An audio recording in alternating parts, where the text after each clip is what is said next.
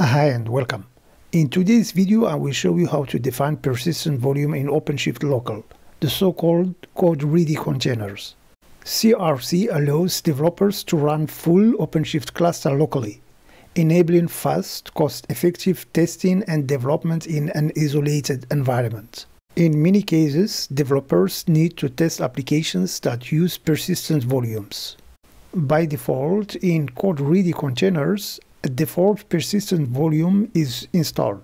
This volume is typically used by application like the image registry and is automatically selected when you try to claim a volume. However, usually developers require a dedicated volume that persists on the host machine for their applications. So we will see how to create and use a persistent volume linked to the host machine. First, we need to create storage class. After that, we define a persistent volume with that storage class. And finally, we define a persistent volume claim by specifying the same storage class as in the persistent volume. Otherwise, it will use the default one, as the default volume might not meet the requirement since it is primarily managed with the CRC VM and tied to specific purposes, like the image registry.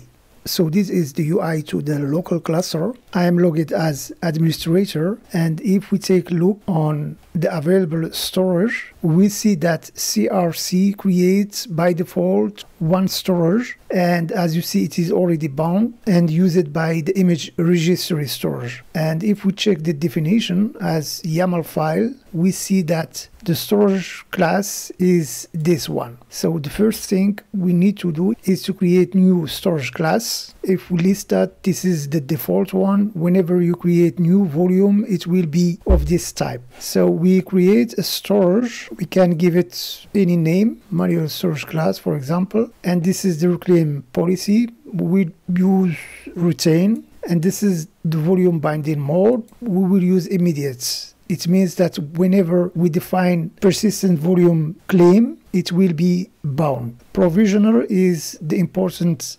configuration so these are the available types so we will use no provisioner because we will provide by ourselves the paths to our disk now we need to define our persistence volumes this so i already prepared definition so by default it is using network file system in our case we need only to link or to use a directory from the host machine. So I prepared this one. This is my definition. We can paste it here. And as you see, this is the name of our storage. We can use labels, so there is no need for that storage one gigabyte and this is the most important one so this is the storage class and here is the host path this is on my local laptop so the data will be saved under this path so let's create and as you see it has been created and with status available. Now we need to create a persistent volume claims. So here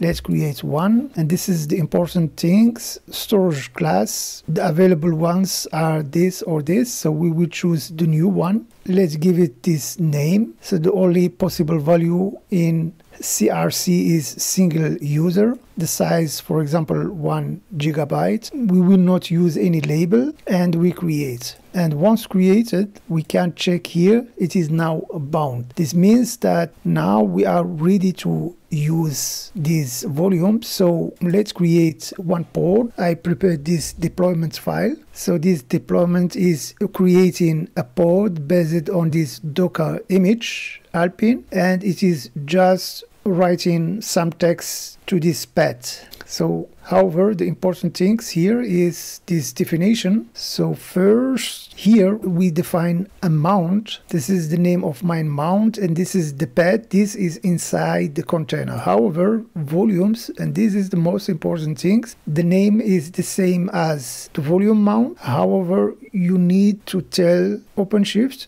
to use persistence volumes claim and this is the same as created previously. So let's apply this file but before doing that let's check the path on my local machine. So it is empty. Now go back and we apply the deployments file and as you see the deployment has been created. We can check here. And the deployment so deployment is now there just created. And in the pod we see that the pod is also running. And we can check whether it has logged on the local machine. So let's go back here and as you see this information has been just created. So this was the way how to create persistent volume on crc i hope it was helpful. Thanks for watching and bye